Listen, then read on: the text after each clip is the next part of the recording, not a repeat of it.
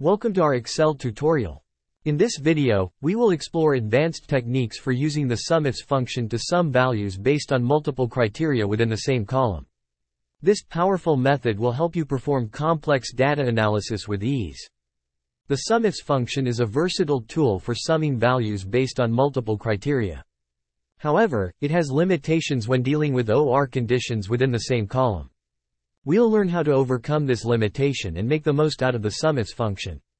The SUMIFS function has the following syntax. SUMIFS, sum underscore range, criteria underscore range 1, criteria 1, criteria underscore range 2, criteria 2. It's designed to work with multiple criteria ranges but only supports and conditions across different columns. If you try to use SUMIFS with OR conditions in the same column, like equals SUMIFS, C2, C10, B2, B10, E2, B2, B10, F2. It will return 0 because SUMIFS doesn't support OR conditions in the same column. To work around the limitation of the SUMIFS function, we can combine it with the sum function. By using an array constant, we can sum values based on multiple criteria within the same column.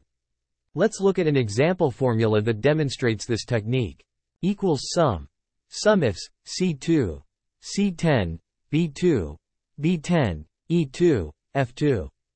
This formula will sum the sales of products in Jan and February months. In addition to the sum function, we can also use the sumProduct function to achieve the same result. The sumProduct function is a powerful alternative when dealing with arrays and can simplify complex calculations. Equals sum sumProduct, SUMIFS, C2, C10, B2, B10, E2, F2. To sum values based on partial text matches using the formula you provided, we can utilize the sum and SUMIFS functions in combination with wildcards. This method allows us to search for cells that contain specific text within a range. For example, if we want to sum the sales of product that include the text X and Whoa, we can use the following formula. Equals sum SUMIFS, C2, C10, A2, A10, asterisk, and G2, H2 and asterisk. Here, G2, H2 contains the criteria X and Whoa, and the SUMIFS function will sum the sales in column C where the product names in column A contain these substrings. For complex scenarios with multiple OR criteria, you can combine several SUMIFS functions. Suppose you want to sum the sales of three different products within a certain date range.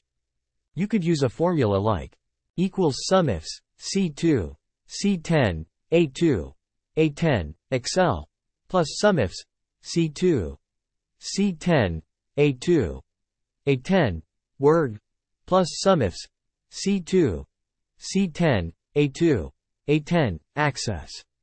This sums the sales values in column C for each product mentioned where column A contains the product names. Congratulations! You've learned how to use the SUMIFS function with multiple criteria in the same column and how to overcome its limitations. These advanced techniques will empower you to perform more sophisticated data analysis in Excel.